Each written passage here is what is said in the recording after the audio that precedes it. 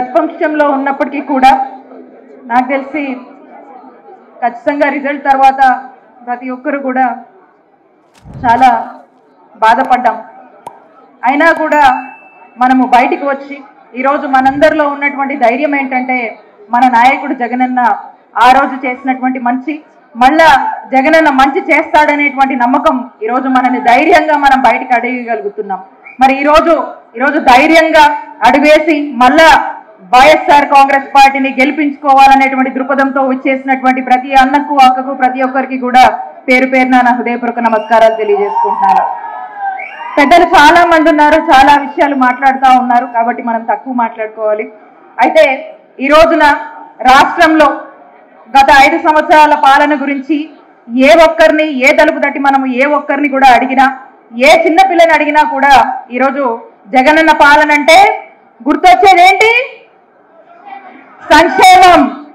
గుర్తొచ్చేది ఏంటి సంక్షేమం జగనన్న పాలనలో మరి మనం చూసినట్టయితే అభివృద్ధి మనకు గుర్తొస్తుంది. సంక్షేమం మనకు గుర్తొస్తుంది.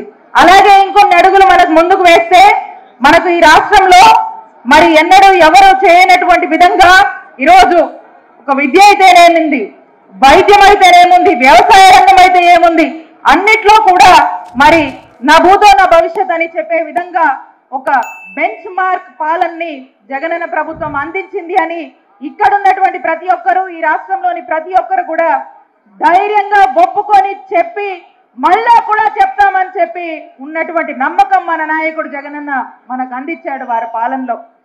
సరే ఇక చాలా విషయాల్లోకి వెళ్తే చాలానే మాట్లాడుకోవచ్చు. ఈరోజు మనం చూస్తా ఉన్నాము స్కూళ్ళ పరిస్థితి విద్య పరిస్థితి గాలి కొదిలేసింది ఈ కూటమి ప్రభుత్వం. వైద్యం విషయానికే వద్దాము. ప్రైవేటైజేషన్ అంటున్నారు. ప్రైవేట్ అంటే ఏంటన్నా? ప్రైవేట్ అంటే ఏంటి? అన్ని డబ్బులే. డబ్బులు కమ్మిపడేయడం డబ్బులకి ప్రైవేట్ వాళ్ళకి దారాదత్తం చేయడం అంటారు. మరి ఈరోజు అన్నిట్లో కూడా ప్రైవేటైజేషన్. ఆఖరికి మనం చూసినట్టయితే మన నాయకుడు జగనన్న పదిహేడు గవర్నమెంట్ మెడికల్ కాలేజీలు రాష్ట్రంలోకి తీసుకురావాలి. ఇక్కడ ఉన్నటువంటి విద్యార్థులు డాక్టర్ చదివి దేశానికే ఈరోజు సేవ చేయాలి అనేటువంటి ఆలోచనతో మెడికల్ కాలేజ్ తీసుకొస్తే దాన్ని కూడా ప్రైవేటైజేషన్ చేసి చేసి ఇంతో అంతో పర్మిషన్లు వచ్చినటువంటి కాలేజీలు కూడా మా కొద్ది కాలేజీలని లెటర్ రాసినటువంటి దుస్సాహసం చేసింది ఈ కూటమి ప్రభుత్వం అని గుర్తు చేస్తున్నా. ఇక రైతుల్ని ఇక రైతుల్ని వాళ్ళ కష్టాలకే వదిలేశారు. ఇక ఇలా మాట్లాడుకుంటే చాలా విషయాలే మనం మాట్లాడొచ్చు. ఒక్క విషయం చెప్తా. సూపర్ సిక్స్ అని మాటలు చెప్పారు కదా. వంద రోజులు దాటింది. సూపర్ సిక్స్ ఏమైంది? సూపర్ సిక్స్ ఏమైందన్నా? డక్ అవుట్ అయింది. సూపర్ సిక్స్ డక్ అవుట్ అయింది. ఇక డక్ అవుట్ అయ్యాక ఏమవుద్ది? వంద రోజులకే డక్ అవుట్ అయింది సూపర్ సిక్స్ అంటే. ఇంకా ముందు ముందు ఏమవుద్ది? ఆ? ఇక ఇదంతా ఇదంతా ఎవరు నమ్మే పరిస్థితిలో లేరు. ఇప్పటికే సూపర్ సిక్స్ డక్అవుట్ అయిందని రాష్ట్ర ప్రజలందరూ గమనించారు. ముందు ముందు కూడా దీని పరిణామాలు ఎలా ఉంటాయో ముందు ముందు కూడా కూటమి ప్రభుత్వం చేస్తున్న ప్రతి ఒక్క మోసాన్ని ప్రతి ఒక్కరూ ఈ రాష్ట్రంలో గమనిస్తారు. గమనించి ఖచ్చితంగా ఇవన్నీ కూడా ప్రశ్నిస్తారు. మరి వీళ్ళు చేసినటువంటి పాపాలకు ఖచ్చితంగా మళ్ళా రానున్న కాలంలో జగనన్న ఈ ఐదేళ్ళ సంవత్సరంలో చేసినటువంటి మంచిని ఇప్పటికే ప్రజలందరూ కూడా కొనియాడుతున్నారు. ముందు ముందు కూడా ఆ మంచి కోసం నిలబడతారు. ఇలాంటి మంచి మంచి పార్టీ వైఎస్ఆర్ కాంగ్రెస్ పార్టీని నిలబెడతారు అనేటువంటి నమ్మకం మనందరిలోనూ ఉంది. అలాగే మన జిల్లాలో కూడా రాంబాబు గారి నాయకత్వంలో అలాగే వేణుగోపాల్ రెడ్డి గారి నాయకత్వంలో ఖచ్చితంగా కూడా మనమంతా కూడా మన జిల్లాని ఇంకా కూడా పార్టీ పరంగా ఇంకా స్ట్రెంగ్తన్ చేసుకుంటూ ముందు ముందు కూడా ఈ జిల్లాని పూర్తి స్థాయిలో కూడా గుంటూరు జిల్లా అంటే వైఎస్ఆర్ కాంగ్రెస్ పార్టీ ఈ జిల్లా ఖచ్చితంగా రానున్న రోజుల్లో అన్ని కాన్స్టిట్యున్సీస్ స్వీప్ చేసే మాదిరిగా మనమంతా కలిసి కష్టపడి వారి నాయకత్వంలో ముందుకెళ్దామని తెలియజేసుకుంటూ మరొకసారి అవకాశం ఇచ్చినటువంటి పెద్దలందరికీ కూడా నా కృతజ్ఞతలు. థ్యాంక్ యూ జగన్మోహన్ రెడ్డి ఏ రోజైనా లడ్డు టేస్ట్ చేశారా? తిరుమల తిరుపతి దేవస్థానం ప్రసాదం లడ్డూని? ఆశీర్వాదానికి అక్షతలు వేస్తేనే పదిసార్లు దూకున్నాడు అక్షంతలని అయిపోయినంత వరకు ప్రతి టీవీ వాళ్ళు కూడా చూపించారు.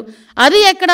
మండపంలోనే ఎక్కడ ఆశీర్వాదం ఇచ్చిన ఆ మండపంలోనే ఇంకా సాల్వ్ అయ్యక ముందే అక్షంతలు వేసిన దానికి ఆ పంతులు అక్షంతలు వేసిన దానికి మనమైతే ఆ అక్షంతలు ఎప్పుడు ఉంటాయా ఉంటే బాగున్ను రోజంతా ఉంటే బాగున్ను ఆశీర్వచనం అనుకొని మనం చక్కగా చక్కగా బయటకు వస్తాం అక్కడే పదిసార్లు దువ్వాడు ఆ క్రాఫ్ని దువ్వేసి తీసేసినోడు ప్రసాదం గురించి మాట్లాడుతున్నాడు. తప్పిసారి ఎవరైనా ప్రసాదం ఇస్తే టిష్యూ పేపర్లో చుట్టూ పక్కకి పెట్టే వీళ్ళు లడ్డు నాణ్యత గురించి టేస్ట్ గురించి ఈయన చెప్పడం మేం వినడం. అది మా దౌర్భాగ్యం. ఇటువంటి పరిస్థితుల్లోని మాట్లాడి ఈయన లడ్డు టేస్ట్ గురించి అరే ఈ లడ్డు టేస్ట్ ఎక్కడ మనకి ప్రాబ్లం వచ్చింది అని చెప్పి ఆ రోజే జూలై నెలలో జూన్ నెలలోని పన్నెండు ఇరవై ఇరవై ఐదు తారీఖులు జూన్ నాలుగున వచ్చిన లారీల్లో నాలుగు కం నాలుగు సంబంధించి నెయ్యి ట్యాంకర్లని ముందు యూజ్ చేశారు. ఆ ముందు యూజ్ చేసిన నెయ్యి ట్యాంకర్లలోని ఆ నెయ్యి ప్రాబ్లంగా ఉందని ప్రతి భక్తుల దగ్గర నుంచి ఫిర్యాదులు అందిన తర్వాత మిగతా నాలుగు ట్యాంకర్లకి మేము టెస్టులు చేపిస్తే ఆ టెస్టులు ఎన్డీడీబీ రిపోర్టుల ప్రకారం అందులోని కల్తీ జరిగింది జంతువులు కొవ్వు కలిసింది అని చాలా క్లియర్గా దానిలో మెన్షన్ చేస్తే దాని గురించి అని చెప్పి మాట్లాడరా అంటే దాని గురించి మాట్లాడడం దాని గురించి మాట్లాడకుండా ఎన్డీడీబీ రిపోర్ట్లో డిస్క్లైమర్ గురించి మాట్లాడతారు అక్కడే అతగాడి తెలివితేటలు బుర్రలోంచి మోకాల్లోకి వచ్చేసాయని సంగతి అర్థమవుతుంది. అరే డిస్క్లైమర్ అన్నది ప్రతి దానికి కామన్ అది. నువ్వు తలనొప్పి డోలో ట్యాబ్లెట్ వేసుకున్నా కూడా డిస్క్లైమర్ ఉంటుంది. తెలుసా నీకు? ఒక ఏంటది మనం ఎల్ఐసికి సంబంధించి ఏదైనా మనం ప్రీమియం ఏదైనా పెట్టుకున్నాం అనుకోండి దాంట్లో కూడా కింద డిస్క్లైమర్ ఉంటుంది. నువ్వు ఎక్కడికి వెళ్ళి ఏ వస్తువు కొన్నా కూడా డిస్క్లైమర్ ఉంటుంది. ఆ డిస్క్లైమర్లో నాడేదో రాశాడని చెప్పేసి దాని గురించి మాట్లాడుతున్నావు వీళ్ళు జరిగిన తప్పుని కప్పిపుచ్చుకునే ప్రయత్నం చేస్తున్నారు తప్పించి జరిగిపోయిన తప్పుని జరిగిందని ఒప్పుకోవడం కానీ దానికి క్షమాపణలు కోరటం కానీ జరగట్లే.